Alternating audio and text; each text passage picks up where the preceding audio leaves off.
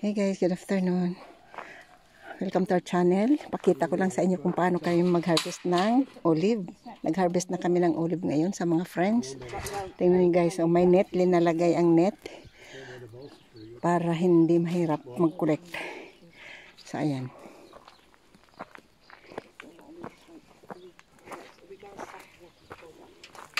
Like that. Oh.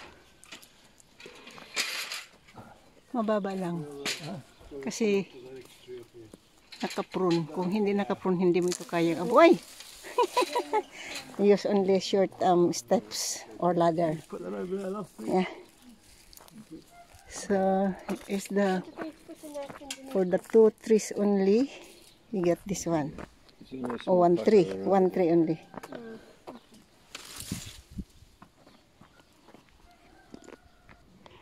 Ito guys, sa dalawang puno lang.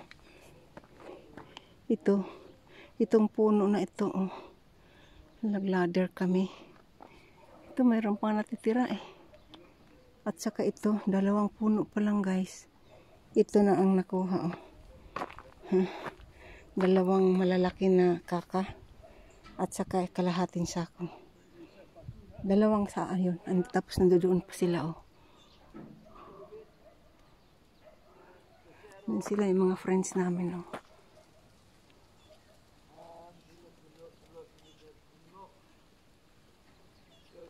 Ayan, oh. Tingnan natin doon. Punong-puno na. Meron pa ako nakuha.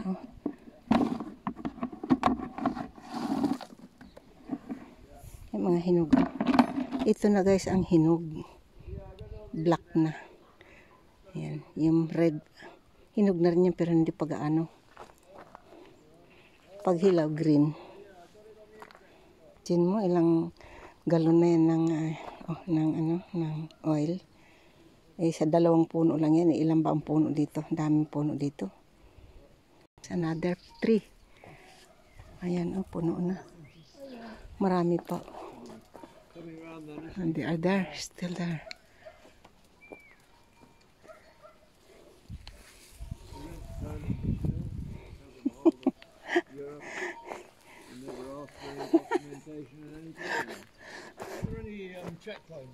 How many tree already? That, that one, only for the two trees do- down. Yeah. two over there. Yeah, but that, that one is only for the two. Or included this. Uh, No, we've got the we've got four cappers over there. four? Four. Wow. Yeah. We did. So I think we've had two, three here. Yeah. So we've got quite a few. Maybe how many?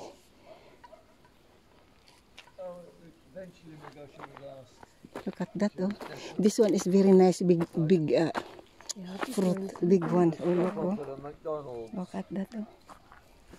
And McDonald's had a security guy outside who was for it.